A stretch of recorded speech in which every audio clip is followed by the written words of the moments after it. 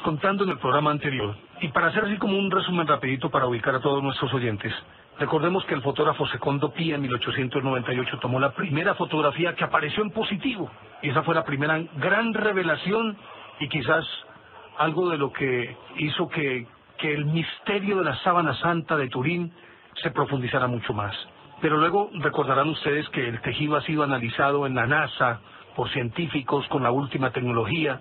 Se ha examinado el tejido mismo, no solamente la puntada que se utilizó, que es una puntada espina de pescado, sino que han encontrado allí gránulos de polen, inclusive de plantas que ya no existen y que de acuerdo con ese examen, ese polen procede de la época en que murió Jesús, del primer siglo de la cristiandad.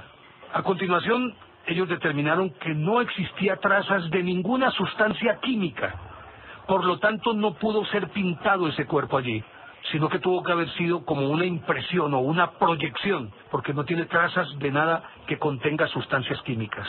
Además de eso, a través de la figura que allí se puede observar, se puede determinar también perfectamente las características del castigo que recibió ese hombre. Todo está en la sábana. No solamente la flagelación, sino la corona de espinas que recordarán ustedes que les estábamos contando que no era una corona, sino que fue un casco el que le pusieron. Y eso se determina precisamente ahí en la sábana de, Turín, en la Sindone o sábana santa. Aparte de eso, se puede determinar, aunque no quedan trazas de la sustancia física, se puede determinar, eso sí, en la impresión, que allí hubo sangre y agua. Recordarán ustedes que cuando quieren corroborar si Jesús murió o no, le meten la lanza por el costado e inmediatamente emana agua que está almacenada en la pleura y por lo tanto sale esa agua sangre. Se puede determinar las características de cada una de las heridas. Recordarán inclusive ustedes que de acuerdo con estudios que hicieron llegaron inclusive a aventurar la hipótesis de que Jesús era cojo, pero obviamente que después pudieron corroborar era que por el rigor mortis, obviamente que la pierna que había sido doblada para que la planta del pie fuera sobrepuesta sobre el empeine del otro pie, hizo naturalmente que la pierna quedara encogida, pero es por el rigor mortis y nada más, no porque en efecto fuera cojo, aunque recordarán ustedes que en programas anteriores hemos hablado que hay algunos estudiosos que afirman que Jesús no era el hombre hermoso que la tradición occidental nos ha mostrado, sino que inclusive era deforme hasta el punto de que fue cojo, pero eso ya definitivamente está demostrado que no fue así. Pero también la sábana, en ella se puede leer absolutamente todo lo que ocurrió con Jesús, incluidas las causas de su muerte. Pero mejor sigan escuchando este fascinante tema, buscando y encuentran otras cosas que de la única manera que mm, podrían convertirse en una lectura sería porque deliberadamente, pensadamente, se hubiera hecho de esa forma para que las generaciones posteriores pudieran leerla. Pues resulta que la sábana, al ser examinada, porque decían, pero bueno, entonces, ¿cómo fue esta impresión? Aparece una, una historia, una leyenda de que esa sábana es simplemente el producto de una falsificación de alguien en la Edad Media. Recordemos que había sido detectada en el siglo VI, año 500, y había llegado casi mil años después al incendio de Chamberí en 1535. Le dijeron, no, eso es producto de, de ese fervor supersticioso de la Edad Media y un falsificador simplemente la pintó. Pues van y examinan resultan que no tiene una sola traza de ningún químico que tendría que haber quedado cuando usted pinta una tela, ahí queda la pintura, quedan los disolventes, si usó agua, en fin, cualquier sustancia que haya usado, necesariamente tiene que quedar alguna traza, algún vestigio adherido a la tela.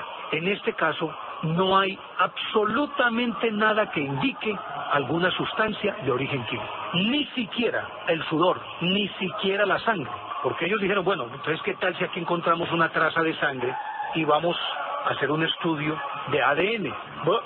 no encontraron absolutamente nada, pero nada es nada de origen químico. Pero sí encuentran en la sábana los gránulos de polen, pero no encuentran ninguna sustancia química. Entonces dijeron, bueno, entonces, ¿cómo carajo pudo haberse dado esta impresión? Pero eso lo vamos a desentrañar un poco más adelante. Sigamos con la descripción de lo que ellos encuentran. Se logró determinar que en efecto el sujeto que estuvo acostado, que estuvo envuelto en ese en esa sábana santa, sábana, no sudario, ahora se le dice sudario, pero por una interpretación posterior. Y hay que hacer una buena diferenciación entre entre sábana y sudario un poquito más adelante para poder llegar al meollo de toda esta cuestión. Resulta que en la sábana encuentran que ese cuerpo yacente recibió un castigo tan inhumano que nunca antes nadie recibió. Decíamos que Jesús murió cuando se esperaba que él tendría que tener una lenta y larga agonía, él murió muy rápido. Pues los exámenes de médicos forenses indican que él murió no tanto por haber sido crucificado, sino por la flagelación y la tortura a que fue sometido con antelación. Ya él estaba exánime, ya no daba más ya su cuerpo había llegado al límite y colapsó, murió. Cuando le ponen el lanzazo, cuando le meten el lanzazo, ya él en efecto estaba muerto.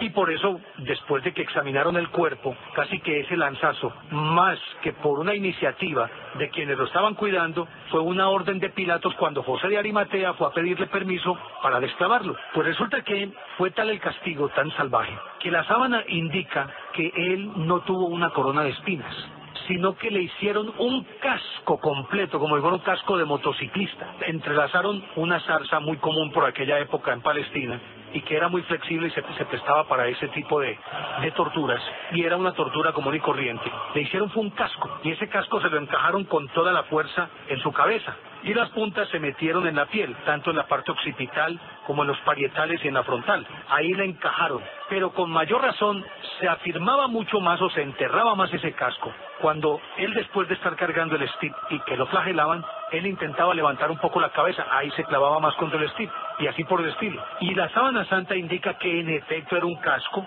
y no una corona de espinas sobre el hombro, especialmente el hombro, el hombro derecho, él era diestro, por eso determinan que era diestro, se ve una laceración que es producto de el transporte de un objeto muy pesado, cuyo peso se soportaba más en ese lado por ser el diestro. Pero encontraron también que él tenía, de acuerdo con ese examen, el hombro derecho un poco más hundido que el izquierdo. Algunos estudiosos indican que eso pudo ser producto de su trabajo como carpintero, por el hecho de que debió cargar muchos troncos durante muchísimo tiempo para llevar a la carpintería y cualquier persona cuya profesión sea estibador o sea carguero, regularmente se le hunde la zona del hombro sobre el cual permanentemente lleve la carga, ya sea zurdo o sea derecho, indistintamente sobre la izquierda o sobre la derecha. Pues eso denotaba también ese estudio de la sábana santa. Y decíamos que lo castigaron salvajemente, le pusieron ese casco, pero también en su espalda, en el tórax, en los muslos y aún en la parte testicular, en la pantorrilla, en la parte posterior de la pantorrilla y en las espinillas. Se podían detectar hematomas y heridas que fueron producto de la flagelación. La flagelación la hacía un hombre experto que era entrenado justamente para ese cometido. Extrañamente, en la única parte donde él no denotaba un castigo por parte de esos, de esos latigazos era en la zona izquierda del pecho, donde está el corazón. Si él se golpea a la parte izquierda del pecho, donde está el corazón, repetidas veces, puede ocasionar esto o un desprendimiento o precipitar un paro cardíaco. Ellos lo sabían y por eso esa parte no la tocaban. Pero el resto del cuerpo, por donde quiera que volteaban, le golpeaban. Pero además usaban un fuete que tenía un nombre muy especial, de ahí viene el término flagelo, porque ese fuete se llamaba el flagum, y el flagum era un fuete de mango corto, pero que tenía 12 tiras de cuero, más o menos de unos 60 centímetros de largo cada tira, pero la tira en su punta se abría en dos, es decir, la tira la abrían en su punta en dos ramales más, y a cada ramal le ponían huesos o piedras o tabas. Las tabas eran como unas especies de bolitas, podríamos decir que de plomo. O sea que cuando a él le golpeaban una vez, no le pegaban un fuetazo, le pegaban 12 fuetazos, pero tampoco eran 12 fuetazos, sino 24 ramalazos. Que recuerden que estamos diciendo que en la punta el pedazo de soga, pues, o esa, ese pedazo de cuero se abría en dos y en cada una ponían dos piedritas o tabas o huesos. Luego él recibía 24 ramalas. Y de acuerdo con este estudio se puede detectar que recibió más de 100 fuetazos. Fuetazos. Multiplique eso, cada fuetazo por 24 ramalazos. ¿Cómo quedaría el cuerpo de este señor? Encontraron tremendas escoriaciones en las rodillas que fueron producto de las caídas, tanto cuando él estuvo amarrado a ese cepo en el patio de, la fortaleza Antonia, cuando realmente vino la, la verdadera flagelación, que él al recibir los golpes por inercia y por gravedad y dada su corpulencia, se iba de bruces y caía de rodillas, entonces hay unas escoriaciones terribles en las rodillas. Y mucho más cuando ya iba camino al Gólgota, que entre otras cosas él iba amarrado por los tobillos a los otros dos, entonces como él era el más golpeado y los otros estaban más enteros, caminaba más rápido y al caminar más rápido lo hacían trastabillar y de ahí las famosas caídas que llevaron a que el centurión cogiera a un curioso que estaba ahí mirando lo que estaba aconteciendo, lo sacara entre la multitud y le dijera, venga, usted me va a cargar esto. Y le montó el stip para que fuera transportado hasta el Gólgota y ese fue el famoso Simón de Sirene, el sirinero. Y así por el estilo. Encontraron y detectaron también que mm, Jesús, aparte de todo esto, recibió un castigo muy cruel y creo que era deliberado, con ese flacón, al ser flagelado, en los testículos, una zona especialmente dolorosa. Y obviamente que al, al recibir cada golpe, por su misma condición ya tan frágil, no tenía control de sus esfínteres. Entonces encontraron que él se orinó, encontraron que él defecó a partir de los golpes que le pegaban, que precipitaban el que se activaran esos esfínteres y entonces inmediatamente evacuara todo lo que tenía dentro. Sobre todo hay varios golpes, especialmente en la punta del coxis, que indica que eso precipitó ocurrieran estas deposiciones y esta orina. Lo cierto del caso es que allí se puede observar todo este castigo tan salvaje a que fue sometido Jesús. Y se puede detectar también cómo murió y por qué murió Jesús. Esta es una radiografía exacta de lo que ocurrió con ese individuo que estuvo yaciendo en esa sábana y que es concordante con lo que la tradición y los evangelios indican que ocurrió en ese proceso de crucifixión y muerte. Pues resulta que, extrañamente para ellos, hubo algo que no se podían explicar en principio, y es que ese cuerpo que yació allí, su cabeza fue amarrada, como lo contamos, fue amarrada con una venda. Ese sí es el verdadero sudario, por eso queríamos diferenciar entre sudario y sábana. Sábana fue la pieza grande de lino que envolvió todo el cuerpo. Sudario era una especie de pañuelo, como los que usamos hoy, un poco más grande y que habitualmente se le ponía a las personas que morían en la cabeza. Una parte ancha que servía como banda para sostener la mandíbula inferior y se anudaba en la parte superior de la cabeza, como a los niños cuando les daba papera que les ponían ese aparatejo o ese adminículo. Y ahí perfectamente se detecta que él tuvo su cabeza envuelta en un sudario. Pero aparte de ello les intrigaba el que al parecer las cuencas de los ojos estaban cuasi vacías y tenían una redondez extraña. Pues los judíos tenían como costumbre ponerle a los muertos en sus ojos, ponerles unas monedas para con ello garantizar que los ojos iban a quedar cerrados. Les ponían encima, como a guisa de gafas, pues, de lentes de gafas, pero pegadas a los ojos, les ponían unas monedas. Y lograron detectar inclusive que esas monedas que le pusieron correspondían a unos leptones que eran comunes en aquella época. Leptón era una moneda de cobre de baja denominación, era más pequeña, y que procedían de aquella época. Inclusive se están haciendo estudios para detectar a ver si es posible determinar por qué las monedas, al ser acuñadas, se les ponían algunas leyendas, pues tenían algo escrito, inclusive la fecha. Y estudiándolo aquí todavía no han podido determinarlo, no lo han podido detectar. Si tiene alguna fecha, porque si lo que correspondía con la fecha era la cara que daba contra el ojo, no hacia afuera, sino contra el ojo, entonces no hay forma de, determinar si, si hubo una leyenda ahí o no. Porque recuerden que por un lado ponían una efigie y por la otra, como ocurre con las monedas, ponen las características de la moneda, la época en que fue acuñada y demás. Pero en todo caso se pudo determinar que era un leptón, eran un par de leptones, o sea, monedas de baja denominación. Porque si hubiera sido denarios, que eran pues de la época de Tiberio, época en la que murió Jesús, tendrían que ser unas monedas muy grandes que no podrían encajar en la cuenca de los ojos. Sin embargo, con todo y ello, a pesar de que esos leptones le taparon los ojos, extrañamente se ve el contorno en la sábana de la redondez de las monedas.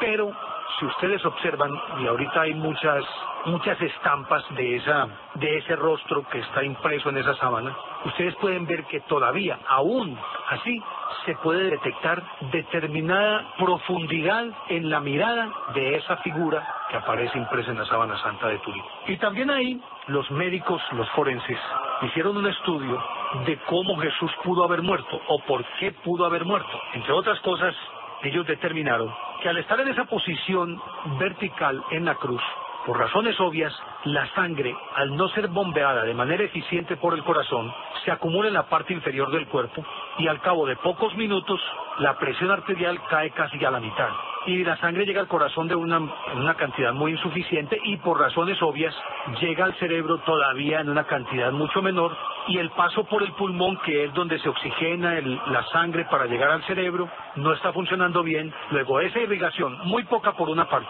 pero aparte de ello, una sangre ya oxidada hace que se nuble la vista y hace que aparezcan unos delirios y se caigan en sopores que se podrían asimilar casi que en un delirio bueno, una inconsciencia, una semi-inconsciencia más o menos. Y eso fue lo que pudo haberle ocurrido a Jesús. Y esa pérdida del conocimiento se corresponde con aquellos lapsos en los que Jesús parecía sumido por allá como una especie de sueño, del cual despertaba de tanto en tanto para pronunciar las famosas siete palabras, y volvía y se sumía en ese, en ese sopor. Pero era porque ya estaba ese proceso, un proceso, creo que tiene que ver con proceso cianógeno, algo por el estilo, así le dicen los, los científicos, yo eso no, no conozco mucho, pero que eran suficientes para que se le nublara la vista y para que cayera en esa semi-inconsciencia de la que estamos hablando. Aparte de ello, para poder oxigenar la sangre tiene que haber precisamente oxígeno. Y para adquirir oxígeno hay que respirar. Pero como estábamos contando, él, con una corpulencia física como la que tenía, colgado de esa manera, soportado apenas sobre un taquito, un pie sobre el otro, le era muy difícil poder rescatar cualquier bocanada de oxígeno, porque tenía que colgarse de los clavos y hacer como cuando uno hace velitas, que trata de subir un poco el torso para tratar de tomar una bocanada de oxígeno. Eso significaba un dolor inenarrable, porque ya no existir irrigación en las piernas están encalambradas y duelen, que da miedo. Luego no se podía levantar con alguna libertad y mucho menos si está soportándose sobre unos clavos para poder subir un poco. Luego el oxígeno que llegaba era prácticamente nulo y el dolor era un dolor que difícilmente se puede describir de acuerdo con lo que dicen los científicos que analizan pues los terminales nerviosos y dicen cómo funciona el umbral del dolor. Luego para él fue una agonía que definitivamente no ha existido otra en la historia de la humanidad. Entonces ese dolor por todas partes, un encalambramiento, pues, aunque no sé si esa palabra se pueda decir o no, en todo caso encalambrado todo el cuerpo, produce unos fenómenos que llevan inclusive a que haya una viscosidad de la sangre que se vuelva demasiado viscosa y gruesa por aumento del volumen de los glóbulos rojos y eso se llama policitemia. Y eso al parecer también incide en el desenlace fatal. Calambres, accesos convulsivos paroxísticos. Al mismo tiempo, la sangre se va depositando en la parte visceral y la falta de oxígeno entonces castiga y daña los tejidos. Y simplemente va llegando un momento en que ya no da más y hay un colapso. Pero dicen también que Jesús pudo haber muerto inclusive más que por todos estos fenómenos pudo haber muerto por la ingestión de ese poquito de, hiel y vinagre que le dieron las mujeres que se llamaba posca. El posca o la posca era una solución de vinagre con hiel que tenía unos efectos soporíferos. Era como, como un narcótico o como un anestésico que calmaba un poquito el dolor, pero al mismo tiempo, más que calmar el dolor, era narcótico y entonces hacía que se fuera hundiendo en un estado sin inconsciencia. Pero estando en esas condiciones, muchos de los condenados preferían beber rapidito porque eso significaba que como el organismo no tenía en ese momento cómo procesar ese líquido que ingerían, simplemente se convertía en veneno y ese veneno los mataba. Aparte de que los dormía, los mataba. Y parece que cuando a Jesús le dan un poquitito en la punta de una vara de ese posca, parece que eso pudo haber precipitado el desenlace de la muerte de Jesús. Pero bueno, todo esto lo indica la sábana santa de Turín con los estudios que se han hecho, cómo realmente esa sábana, por qué esa sábana indica tantas cosas y para poder que haya una lectura tan perfecta que fue lo que ocurrió en ese proceso de impresión. De acuerdo con lo que dice la sábana santa, no fue un lanzazo que se propinara de abajo hacia arriba, es decir, estando en el suelo el soldado porque usaban unas lanzas muy largas, sino que al parecer había dentro de esa legión que estaba cuidando al crucificado, había varios soldados de a caballo y seguramente que el centurión, que era el que manejaba pues esa tropa, y entonces desde el caballo, a horcajada sobre el caballo, vino el lanzazo y por ende el lanzazo no se hizo de abajo hacia arriba, sino que fue más o menos de manera horizontal y como ellos eran tan avesados por la cantidad de ejecuciones que debían ellos realizar, no era nada extraño que le tuvieran la medida y por eso el lanzazo va de manera horizontal atraviesa la pleura, el pulmón completo y va hasta el corazón y toca el corazón. Pero para entonces ya definitivamente se puede afirmar a ciencia cierta que Jesús estaba muerto. Inclusive Juan dice que salió sangre y agua, pero más agua que sangre, lo cual indica pues que había líquido de la, de la pleura que se mezcló con la sangre, pero ya eso también indicaba que de alguna manera no existían signos vitales y por ende era mayor la afluencia de, de agua. Ahí se determinó pues que Jesús estaba muerto y se permitió que fuera descolgado para ser llevado rápidamente a la gruta que había sido abierta a unos 200 metros del sitio de la ejecución del Calvero o de, del Cerro de la Calavera, como le decían, o el Gólgota, para ser llevado rápidamente allí. Todo esto lo indica la Sábana Santa y es un libro abierto pues obviamente para quien tiene elementos científicos para poder leerlo. Recordemos pues que inclusive en la Sábana Santa aparecen los clavos que se le acomodaron en las muñecas y que inclusive determina que sobre la muñeca derecha debió desclavarse y volver a clavar y esto originó que tocara un tendón que hacía que el pulgar se disparara hacia adentro de la palma de la mano y por eso en la sábana santa no se ve el pulgar, sino que se ve en el índice, el del medio, el anular y el meñique, pero lógicamente que no se ve porque estaba tapado por la palma de la mano porque se inclinó en un movimiento espasmódico hacia adentro. Después de todo esto, comienza uno de, de los misterios más grandes en la historia de esta sábana santa de Turín y por lo cual se descarta de plano la teoría aquella de que posiblemente la sábana santa pudo haber sido una falsificación procedente por allá de la Edad Media. Y algunos aventuran inclusive que pudo ser una, una falsificación realizada en el mismo siglo I de, de Cristo. Pero como hemos visto, esta sábana santa de Turín no es otra cosa que un negativo que al ser impreso fotográficamente inmediatamente se transforma en un positivo. ¿Y con qué técnica o qué conocimientos debió tener alguien que intentara hacer una falsificación de estas características en el siglo I o en la Edad Media?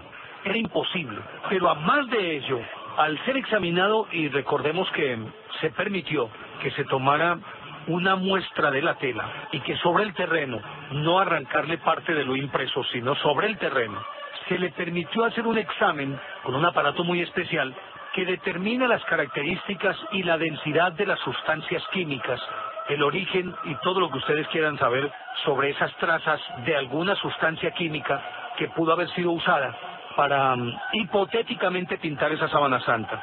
Y encontraron entonces que la sábana santa de Turín no tenía el más mínimo vestigio de ninguna sustancia química en esa impresión. Y no había tampoco ninguna traza de alguna sustancia o de algún fluido corporal o de sangre, porque para entonces pues era muy incipiente el conocimiento que se tenía sobre el ADN, pero de todas maneras ya el ADN había sido descubierto y se sabía cómo podía llegarse a determinar las características de un individuo a través de, del ADN.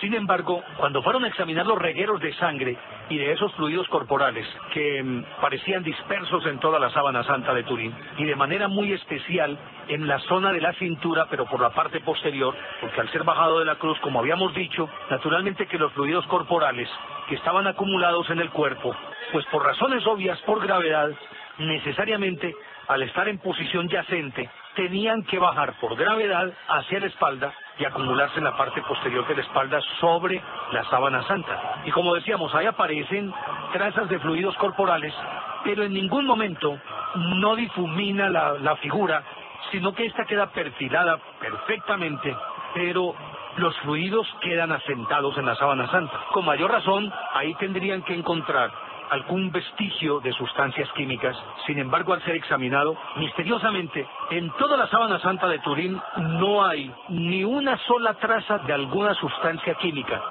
Entonces se preguntaron, bueno, entonces, ¿cómo pudo haberse impreso esta figura sobre la sábana santa de Turín? De la única manera que podría, de acuerdo ya con esto, que podría haberse impreso esa figura, tendría que haber sido por una proyección, algo así como una fotografía. Es decir, que la impresión o en la impresión no entrarían elementos diferentes a la luz y naturalmente que a las sustancias químicas, pero para el procesamiento de esa luz una vez tomada esa fotografía. o sea, o algo totalmente externo a las sustancias químicas. Lo cierto es que, de acuerdo con esto, la única explicación posible es que se hizo por impresión, pero una impresión por proyección, no por contacto, no hubo el más mínimo contacto entre ese cuerpo y la sábana para que se diera esta impresión del hombre yacente en la sábana santa de Turín. Y dijeron, bueno, pero esto cómo pudo haber ocurrido? Con el agravante de que además no era una impresión común y corriente, porque si fuera por un proceso fotográfico, pues la impresión allí aparece en dos, en dos dimensiones, largo y ancho, pero no tiene profundidad. Sin embargo, esta figura tenía tridimensionalidad, es decir, que se veía ancho, largo y profundo. Pero aquí, en ninguna fotografía, hay esa sensación de profundidad. Sin embargo, en esta sí aparece esa sensación de profundidad, o sea, un virtual relieve, como cuando usted ve esas tarjetas de Navidad en las que al, moverlas frente a la luz le da la sensación de que tiene volumen la figura, ancho, largo y profundo, tiene volumen. Pero ese ya es un proceso supremamente moderno. Es esa misma impresión que usted observa en esas tarjetas de Navidad, la que hay en este cuerpo, con la diferencia de que, bueno, ¿cómo podrían haberlo hecho si no existía la técnica de asumir que era una falsificación? Evento de que uno asumiera que era una falsificación. Lo cierto del caso es que, de acuerdo con el examen que se hizo, la intensidad de la luz decrece en la medida en que se acerca más a la figura, es decir, aquellas partes sobresalientes del cuerpo, o sea, nariz, pómulos, dedos de las manos y de los pies, de que no están al mismo nivel de la superficie del cuerpo, barbilla, mandíbula inferior, como esas se quedan supuestamente más cerca de ese foco que imprime la figura, esa intensidad de la luz es proporcional a la distancia desde la que ocurre la proyección. Mientras más lejos está de ese foco de luz, resalta mucho más cada uno de los aspectos o características del cuerpo, mientras que en la fotografía es simplemente uniforme. Y si se hace un examen más a fondo, toda la figura siempre en una fotografía queda achatada. Aquí no, aquí quedó como si si se viera el cuerpo completo en sus tres dimensiones, en esa impresión que hay de la sábana santa de Turín. Y por más que lo miran, no le encuentran ninguna explicación. La única posible es que fue mediante una proyección en la que no existe ningún contacto químico entre la fuente que produce la impresión y el cuerpo que es objeto de esa impresión.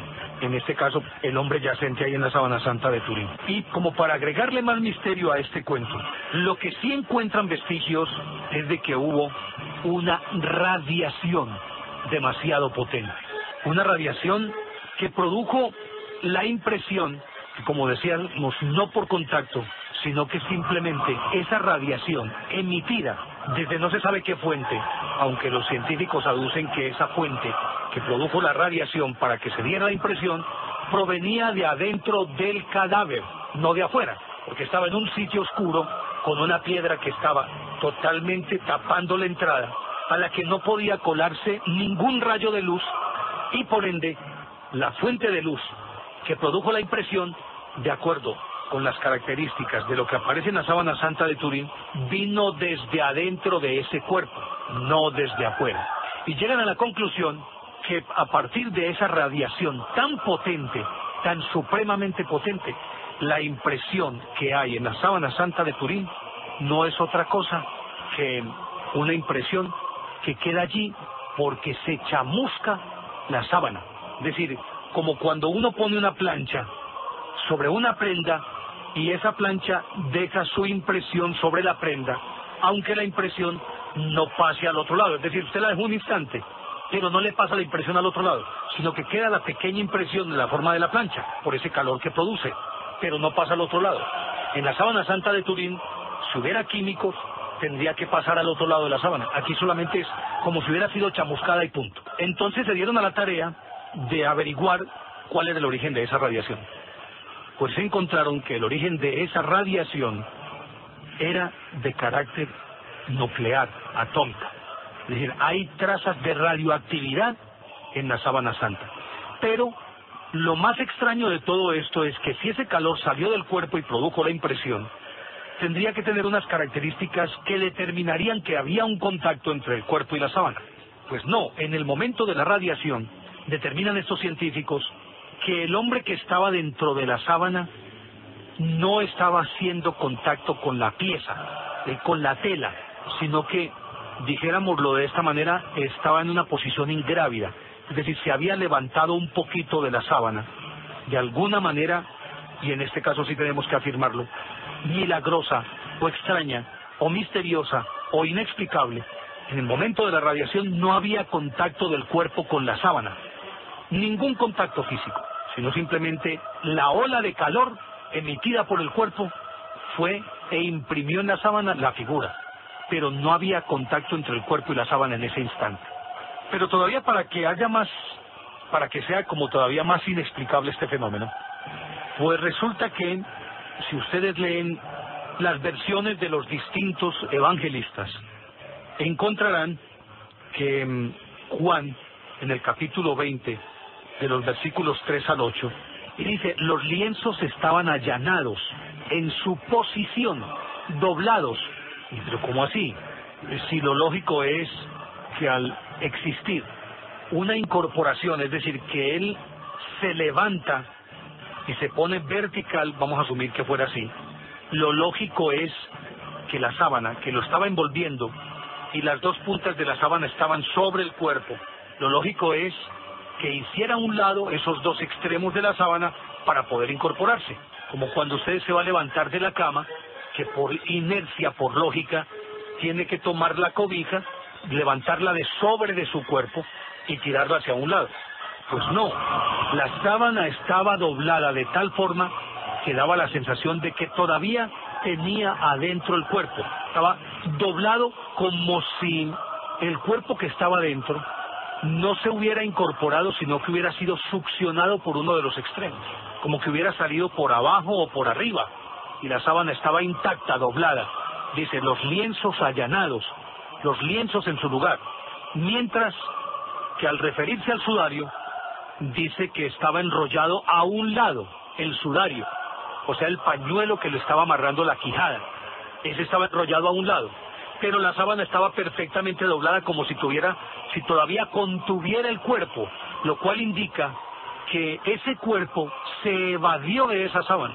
No fue que se incorporó, sino que se evadió por alguna forma inexplicable, pero daba las sensaciones de que salió por succión, o por abajo de la sábana o por la parte de arriba. De acuerdo con la versión de Juan en el capítulo 20 de los versículos 3 al 8. Y Lucas también dice el capítulo 24, versículos 17 o 18. Él habla aquí de vendas. Vendas también tienen que ver con esa pieza con la que tradicionalmente por cultura envolvían a los cuerpos.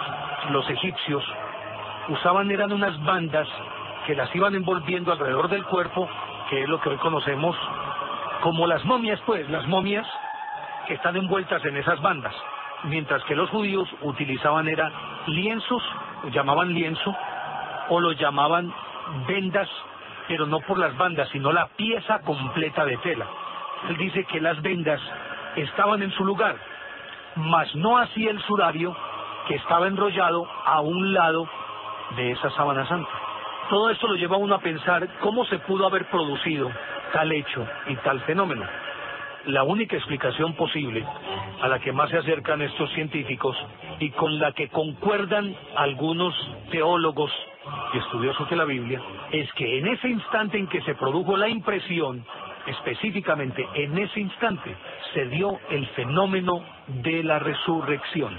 Por un fenómeno supremamente extraño, ese cuerpo no se levantó, sino que salió, levitó y se sustrajo de la sábana, como si se hubiera activado una combustión interna de tales características que la figura allí yacente no solamente recobró vida, sino que fue tal la ola de calor que emitió su cuerpo, la radiación, que dejó impresa su figura en esa sábana santa de Turín. Naturalmente que esto tiene simpatizantes y contradictores. Muchos siguen afirmando con ese pragmatismo que nos es tan característico en este siglo del consumismo, que eso no es más que una patraña. Pero por más que se intente encontrarle los secretos de esa aparentemente truculencia, no han podido detectarlo. Por más que le buscan por todas partes, no han podido encontrar dónde está el truquito, porque no existe ningún truco.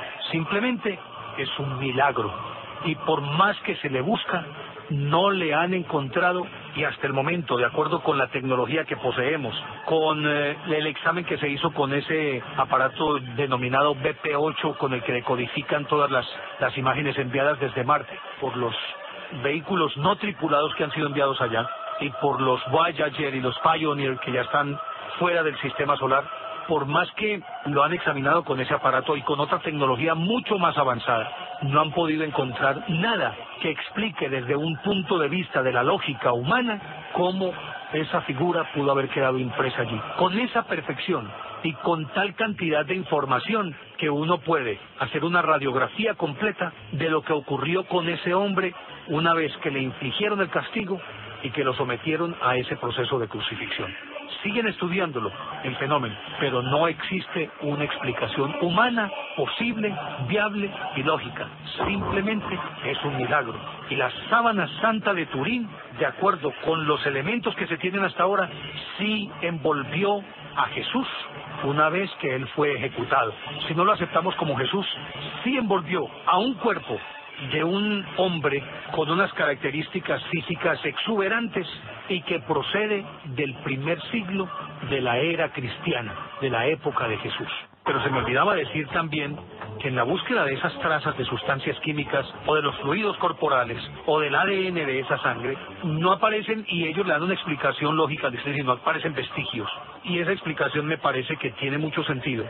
Simplemente en el momento en que se produce la radiación, que a su vez genera esa impresión. En ese momento, las sustancias químicas que estaban sobre la sábana fueron quemadas y desaparecidas justamente por la radiación. Por eso no encuentran ningún vestigio químico en ninguna parte de esa impresión, ni por la impresión ni por los fluidos corporales o sangres emitidas por ese cuerpo.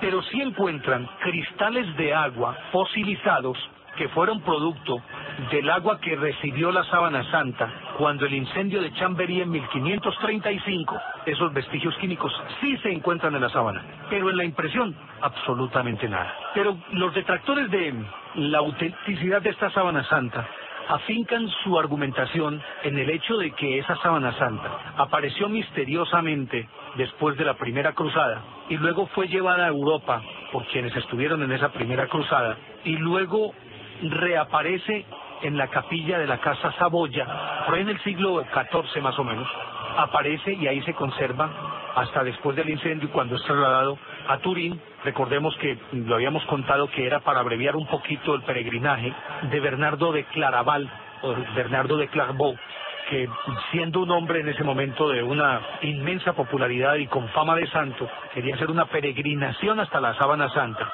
Y le acortaron el camino porque él ya estaba muy viejito y la pusieron en Turín para que estuviera más o menos a, mitad de camino de la peregrinación de, Bernardo de Claraval y mm, lo depositaron ahí en, en Turín. Entonces, decíamos que los contradictores o detractores dicen que simplemente en esa época se pudo haber pintado esta sábana y mm, arguyen que mm, si no en esa época fue un poco antes y que ahí metieron la mano los templarios. Recordemos que los templarios eran una orden que comenzó en la primera cruzada cuando en el año 1096 por eh, orden del Papa Urbano II se llamó a una cruzada para rescatar de los infieles los lugares santos, en este caso Jerusalén. Una vez que hubo esa orden, de esa primera cruzada, que salió por una orden del Papa Urbano II en el concilio de Clermont, pues a partir de ese momento un ermitaño llamado Pedro, Pedro el ermitaño, se fue por todos los lugares de la cristiandad a convocar a los ejércitos para que fueran a rescatar pues estos lugares santos. Pues salió un ejército al mando de Godofredo de Bouillon hacia Tierra Santa. Y decimos que aquí, de acuerdo con lo que dicen los contradictores, metió la mano la orden de los templarios, que necesitaban tener alguna reliquia, porque era una época en que, en que las, las reliquias de los santos tenían una preeminencia en la devoción de la cristiandad que rayaba en el fanatismo. Entonces aparecían trocitos de madera, trocitos de, de cualquier prenda que hubiera usado un santo, pues ellos necesitaban aparentemente fortificar su posición como defensores de la cristiandad con la obtención de una reliquia que los legitimara como defensores de esa cristiandad. Ustedes dicen que pudieron haber inventado, haberse inventado esa sábana santa, simplemente para con ella legitimar su acción frente a las autoridades eclesiásticas, en este caso el papado, y mm, ganar al mismo tiempo la adhesión y el respeto de todos los feligreses. Y maravilla este fenómeno de la sábana santa por varias razones más. Una de ellas, el que Jesús, a diferencia de prácticamente todos los fundadores de religiones o de aquellos que se han convertido como en el punto de partida para conformar todo un cuerpo filosófico. En el caso de Jesús es diferente totalmente a los demás. Se sabe que Buda murió y fue enterrado, se sabe que Mahoma murió y fue enterrado, se sabe que Lao Tse murió y fue enterrado, aunque pues obviamente por, por la distancia en el tiempo no se tiene una ubicación exacta de, de su tumba. En el caso de Zoroastro, en fin, prácticamente todos aquellos que han fundado una religión o que han servido de punto de partida para una religión, de alguna manera han dejado una estela que es fácilmente verificable, si no a través de sus huesos físicos, sí por lo menos por sus lugares en los que murieron y en los que la tradición indica que están enterrados o que fueron enterrados y trasladados a otro sitio.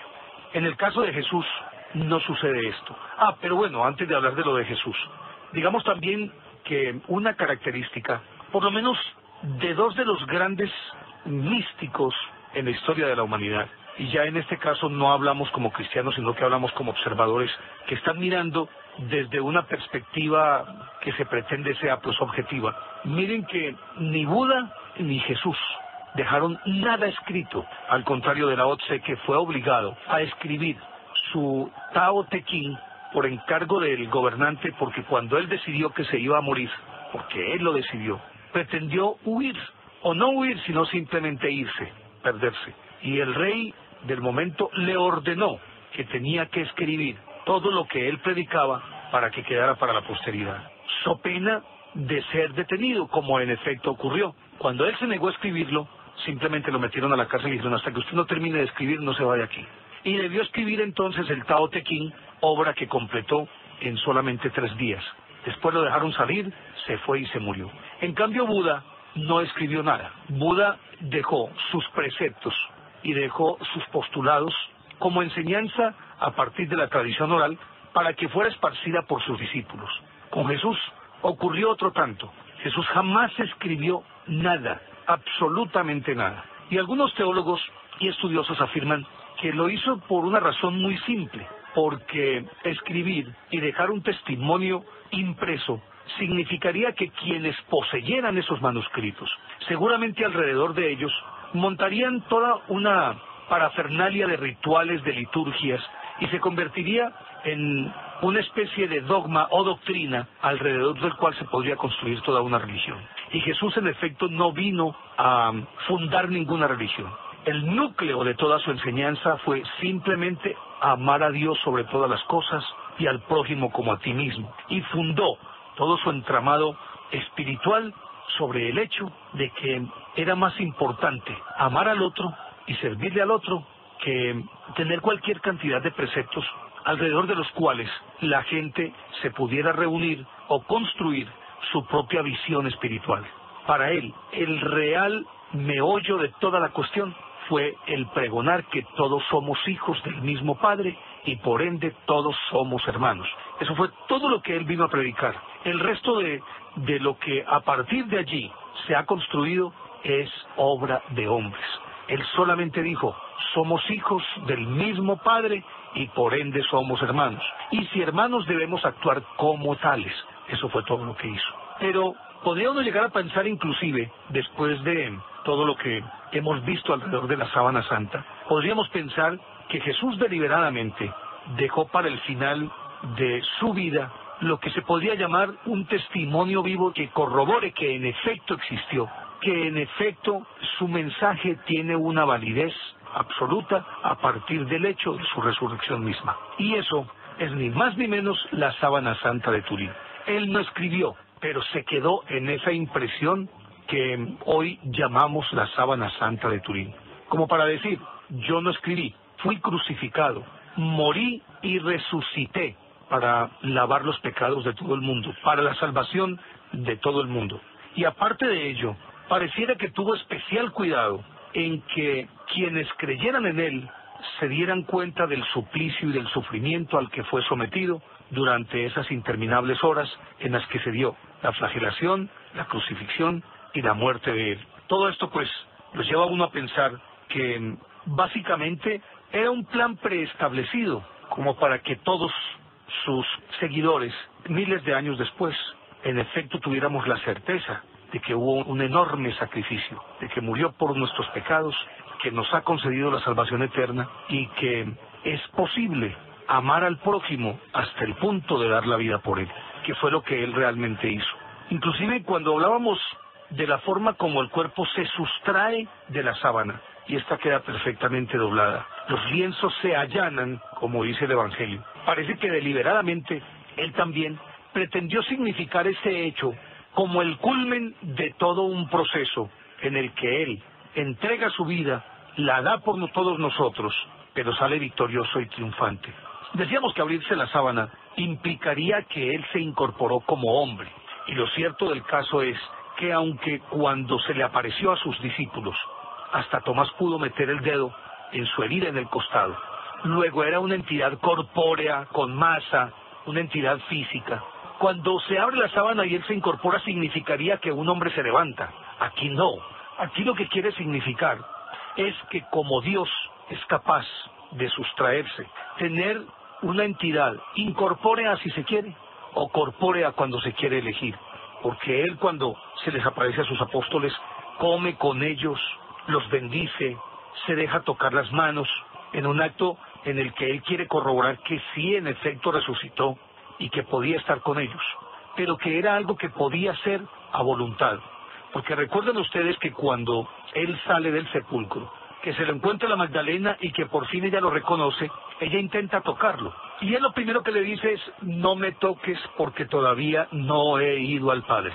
Solamente después de esas primeras apariciones, cuando ya él vuelve, que se encuentran reunidos todos los apóstoles, permite que Tomás lo toque, mete el dedo en la herida del costado Solamente después de eso, él se sienta y come, engulle, ingiere alimento físicamente. Como quien dice, tiene la capacidad y el poder para en un momento determinado sustraerse de entre la sábana de una manera, diríamos nosotros, espiritual. Es un ente espiritual, incorpóreo. Pero cuando él lo desea, toma de nuevo su cuerpo, se sienta con sus discípulos y actúa como un hombre cualquiera demuestra en efecto entonces que no necesitaba escribir, porque simplemente se puede leer todo lo que Él hizo por nosotros, todo lo que nos dio, a partir de esa radiografía que nos deja impresa.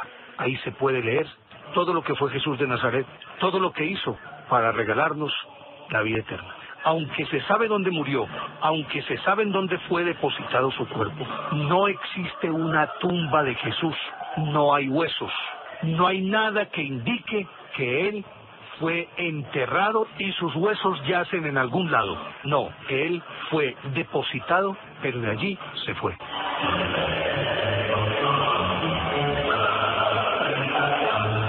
Bueno, hasta aquí pues esta historia de, tan apasionante de la sábana santa de Turín, que a pesar de que demuestra demasiadas cosas que no encajan dentro de la lógica normal y por lo tanto tiene que considerarse una pieza excepcional.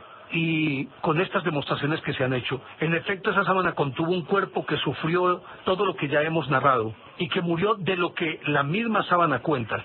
Y por lo tanto esa sábana sí, en efecto, envolvió el cuerpo de un hombre que fue sometido a ese castigo tan salvaje.